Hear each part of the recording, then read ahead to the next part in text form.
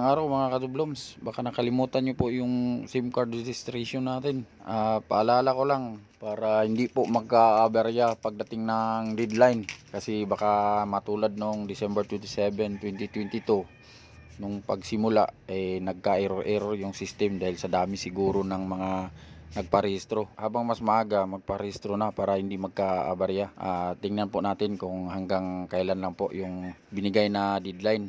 Nandito na po tayo sa Globe, kasi Globe po ako. Dito tayo titingin. Dito yung more about SIM registration. Pindutin natin to. Itong how long do SIM user have to register their SIMs.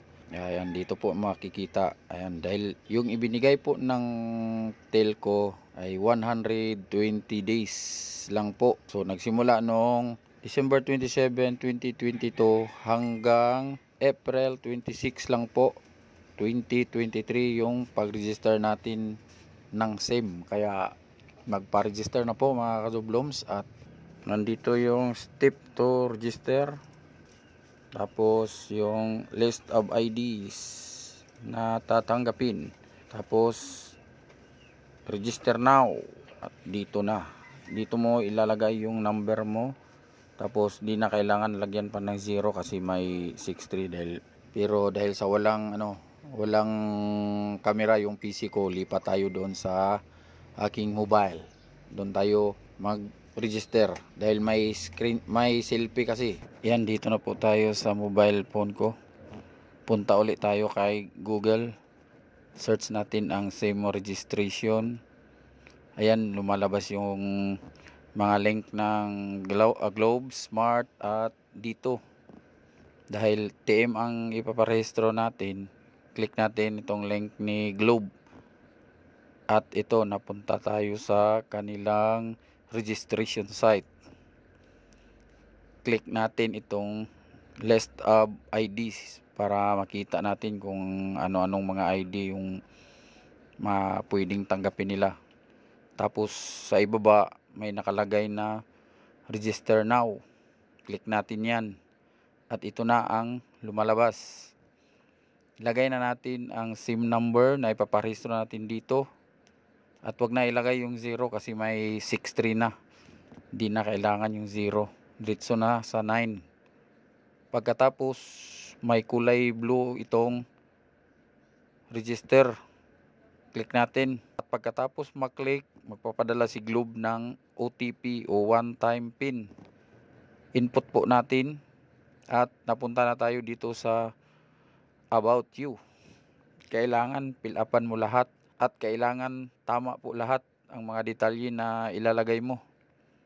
Tapos click natin ang next at ito po lalabas verify your identity ilagay mo ang ID type kung anong ID ang gagamitin mo at ang ID number. Click mo yung upload photos para ma-upload yung ID na pinicturan mo kanina.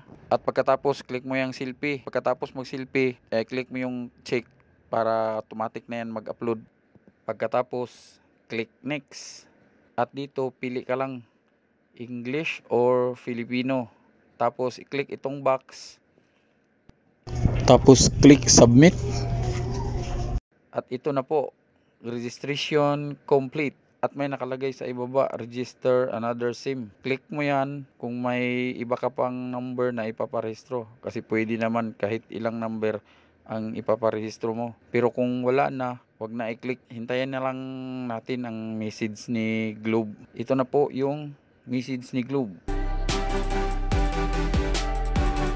At yan po mga subloms, uh, register na po yung SIM natin.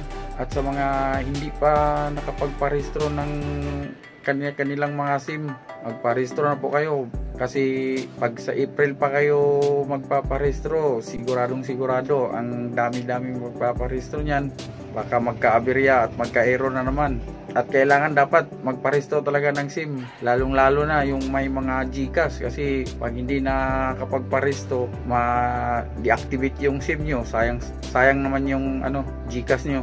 Kaya parehistro na po mga kasubloms. Sana nakatulong itong video na ginagawa ko. Teka nga pala muna, kailangan mag-picture ka na muna ng ID na gagamitin mo para sa pagparehistro para hindi ka na mag-picture-picture pa ng ID habang nagpaparehistro.